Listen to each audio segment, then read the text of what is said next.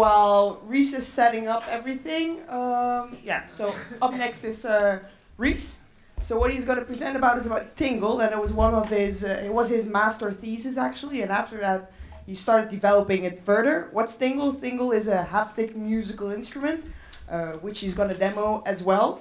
Um, so up until now, Rhys had several startups actually. Uh, one of them is Nupke, and until now, he uh, recently he was design director of OO Studio, and he was actually uh, nominated as one of the 100 uh, Holland's top creatives. So uh, if you're ready, you can yeah. start. He's going to show us more about the thing. So hey, um, I'm Rhys, and uh, that's fancy talk for I design things with products and digital combined. And uh, today we're talking about a product I designed called Tingle. I'm not going to actually show it here on stage. You can try it afterwards, but this is what it does.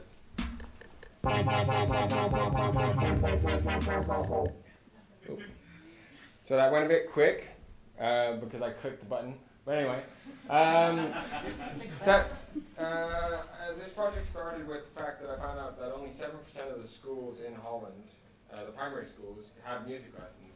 This means that 1.6 million kids in 7,000 schools in Holland alone don't get music lessons.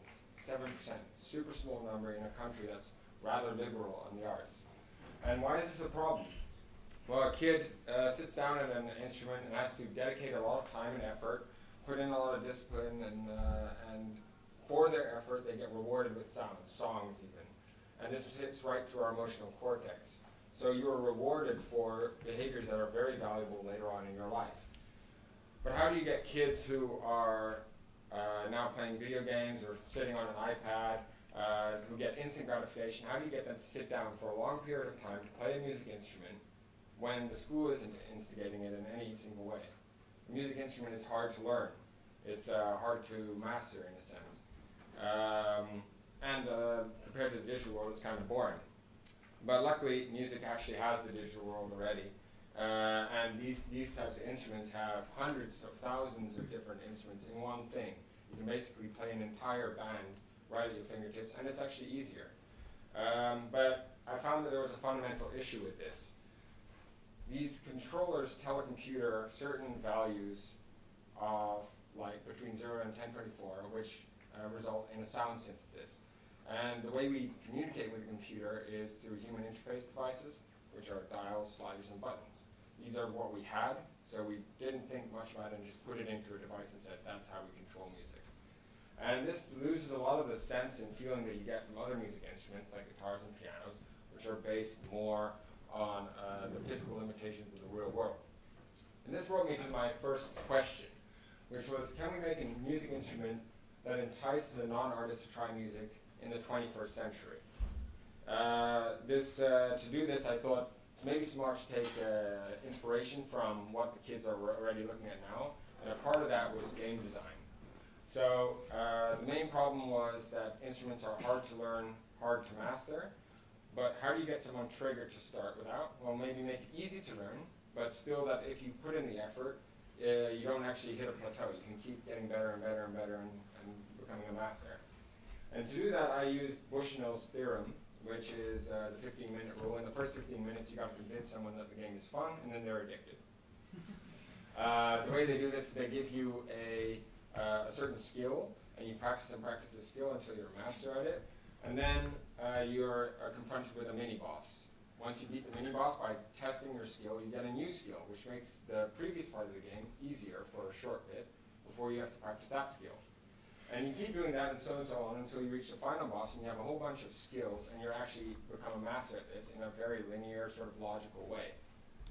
And so this is what I wanted to try to apply to music, but I also wanted to have some sort of artistic special specialness to this that you couldn't get with an acoustic instrument. You know, where with digital, why not do something special? For this, I looked at synesthesia, which is a physiological phenomenon where two, two or more senses are combined. Uh, this can be a whole bunch of things, but I was interested in sight and sound being mixed. There's a lot of uh, famous composers who, as they were playing music, could literally see ribbons of color through the air, uh, or look at a painting and hear the song that that painting would play. And I thought this was, yeah, fucking A, I want this. You know, this is, this is cool. so I started coming up with a whole bunch of ideas. Um, I'm not really a good drawer, as you can see, but but it was okay. It got this wasn't even all of them, but I I was more most triggered by these three. Um, and that was because I was kind of interested in what instrument, without any prompting, would cause a kid to start playing the music. Well, uh, you need something that they will just walk up to and pick up without it being any music in it. And this was a pin art toy, a, a cloth, which you could drape over something, and then when you played the cloth, it had a different sound depending on what it was draped over.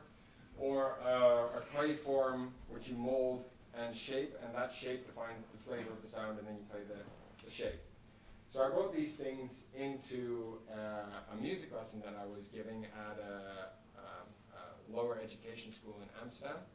Uh, I signed up to be a music teacher for a day, having no real prior training to being a music teacher, so that was great. Um, and I brought, I brought these things in to try to see which, which objects they would pick up first. And I actually I had a whole bunch. I had uh, 20 different objects. Um, and the one I disliked most was that pin art one. And so naturally that was the one that the kids straight went for and just got addicted to and uh, uh, ignored all the other devices. And the reason I didn't like this one was because I had no idea how I was going to make this into a music instrument. This is sort of, uh, to me, it was an impossible project. And I was just talking about how actually that, that's the great thing about impossible projects is if you think, yeah, okay, just give it a go, you might actually make it happen. So I started looking at how to do this, and I uh, looked into uh, using webcams and programming my own software so you could figure out where the fingers press. And from there, uh, you could I uh, could capture what was happening on the surface and turn that into music. I even redesigned it so it would be a plectrum shape, which is linked to sound, you know, guitars, and also has, when you're holding it, would be like this, so it's kind of an open gesture to the public, which I also liked. Um, I showcased this at some exhibitions, and the kids were lining up to play this. And the same kids who can't be motivated to look at something for more than two or three minutes were now spending a half hour on this thing, and kids were fighting to get a chance to play on it. And that's when I thought, God damn, okay, there's potential here. I'm going to start a business. Uh, this is going to be successful. So, but there was kind of an issue with this. Uh, I needed to make uh, that thing that you see here is super susceptible to light coming in from the outside. If they shook the table, it was all over the place. The sensing was bullshit. So I had to work on that first. Tingle is a new musical instrument which is used to teach music. It looks like the pinboard toy from your youth, except that the 3D landscapes you created with whatever you put underneath it now translates into a musical sound. Your hands mold and form the sound to generate a musical landscape. The problem was that it worked with a webcam, so you couldn't actually play it as a musical instrument. So I built a new sensor. This sensor can measure every single pin, and it measures it instantaneously.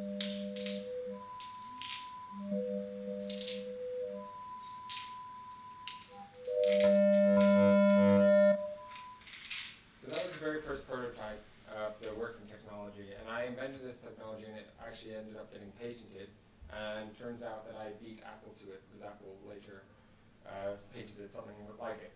But the problem was that if you look at it, it's extremely low resolution, and this bowl is where my fingers are. It's, it's just absolute bullshit. You couldn't turn that into music. So the first step I had to do was translate this thing to this. It needed a lot more resolution so that you could capture more finer nuances. And then it had all types of bugs in the interface, so the next step after that was to look at electrical engineering, embedded engineering, figure out all the bugs, remove all of that type of stuff. Uh, I did this together with a company called Vention. Um, and then uh, look at how to turn the product into a marketable product that you could hold in your hands. It looks nice. And this was done together with VanBerlo Design Studios.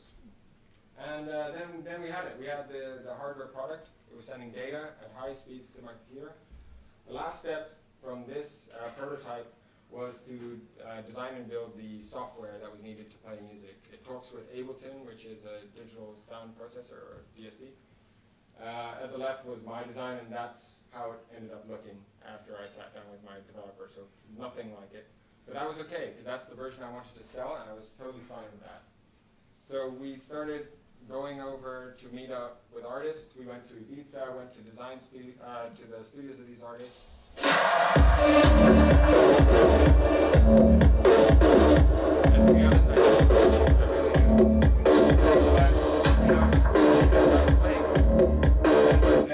we went to museums, we went to exhibitions, people were psyched about the party, they were really excited. I went to Barcelona to showcase and I met Richie Hawtin, and this photo alone meant that I got a thousand new followers on my Instagram within one hour. Um, and that was super cool, you know, we were really getting somewhere, and then it ended. It just, uh, it just stopped. And this is the last part of what I wanted to try to tell is why it ended. Um, so I believe that there's, oh, I'm going a bit too long, sorry. You mind if I just finish this last bit? Why So- did it end? So why did it end? um, I was wondering where that sound was coming from, actually. But um, so there's three types of uh, people involved in a startup, I believe, um, and that's the entrepreneur, so Steve Jobs, the pioneer, Steve Wozniak, and the achiever, so Jonathan Ives, when he had hair. Um, now, the, the main difference is, is that the entrepreneur is the strategist, and the pioneer is more future-driven. They're looking at, they're never comfortable in the current state. And the achiever takes the strategy of the, the um, entrepreneur and the vision of the pioneer and it makes it happen. And I was more the pioneer. And later, uh, yesterday, I found out that Tom Kelley actually has his own version of this, so I put that beneath there uh, if you're interested. Uh, this is actually a, uh, so there's a proven character type. And that meant that I hated this type of shit. And that's all I was doing every single day. And this is literally the last slide. This is the main reason why um, I believe Tingle didn't succeed. It's a really cool product, but when it comes down to it, the piano or the synth here is the evolution of a harpsichord over many, many generations. It has 88 keys, 7 octaves, which means you can be playing it in chords, making an entire variation of sound out of it.